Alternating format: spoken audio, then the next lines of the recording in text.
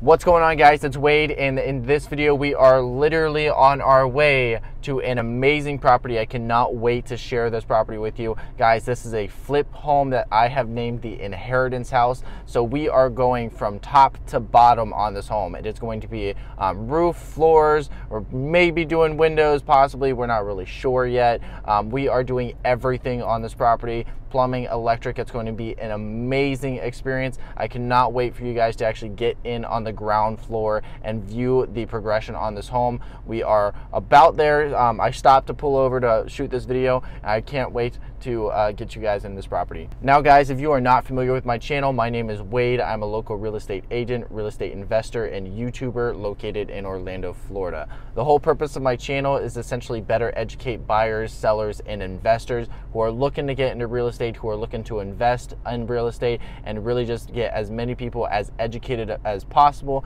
in the real estate realm. So I can't wait to actually start this video. I can't wait for you guys to actually see the progression and how we learn through the process, but it's going to be a phenomenal video. Be sure to um, subscribe and hit that like button as it really, really does help out the channel. But let's go ahead, let's get into it.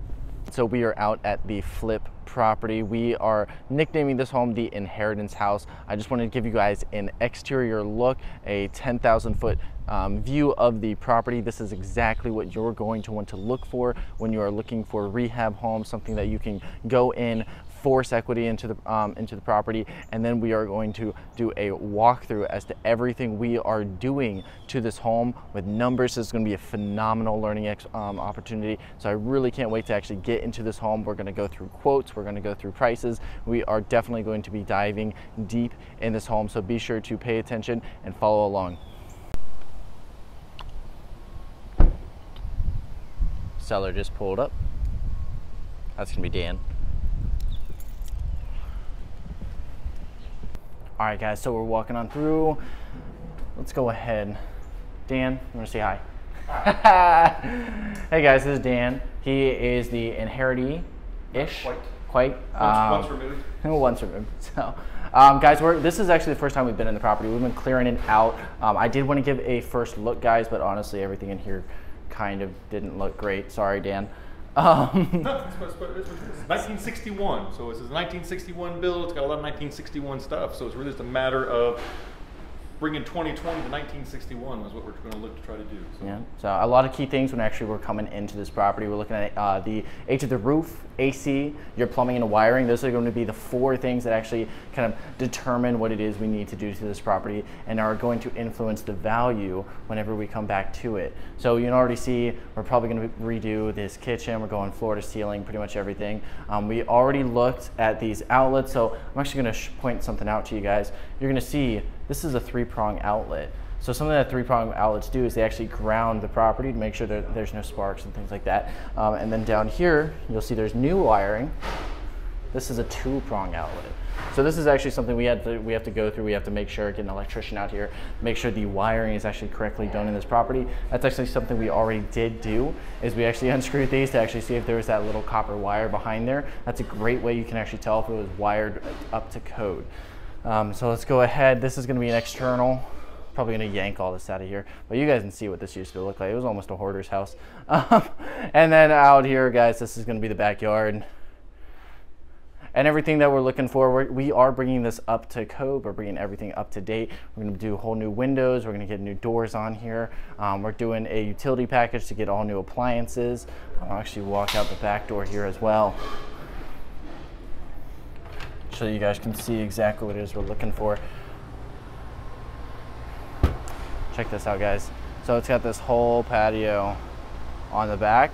This is all covered. We don't know if we're actually gonna be taking this down yet. It really just determines on whether or not someone wants it, if it actually brings any value. Let's be 100% honest, it actually really doesn't because it's, it's not really permanent. You can see this is all DIY handyman stuff. Um, show you guys the backyard here.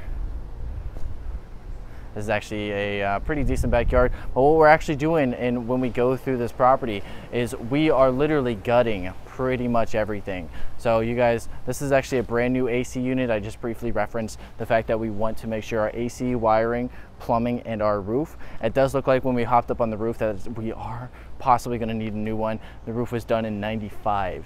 So it's a 25 year old roof, almost 26 years old. Thankfully, we do have this giant tree here that's kind of been protecting it, but it definitely needs to get replaced. Um, so after that, guys, we have our wiring. We already talked a little bit about um, having the correct wiring with the copper wire, um, but we are gonna have a professional electrician come through and verify everything is safe, put new three-prong outlets into everything. That's really gonna bring this home up to code.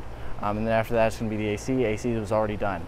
This AC unit was actually just put in just a few months ago before the um, property owner uh, passed away. So that's something that we have less to do. And after that, guys, it's roof, wiring, AC, and our plumbing. There's one thing I do want to show you guys. We're actually walking over here. So this is a great thing. You can actually see um, polybutylene. So polybutylene piping is illegal. Basically, when you heat it up and when it uh, cools, it starts to crack over time. An easy way to tell polybutylene piping is by this gray pipe. It looks similar to PVC, but polybutylene is only ever gray. It's a great way to tell. Typically replacing polybutylene um, for this size house, maybe about 3,500 to 1,200 square feet.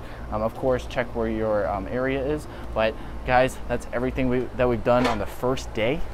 So it's been a pr really productive day. Um, let's go ahead, walk on to the property. I'll give you guys an update.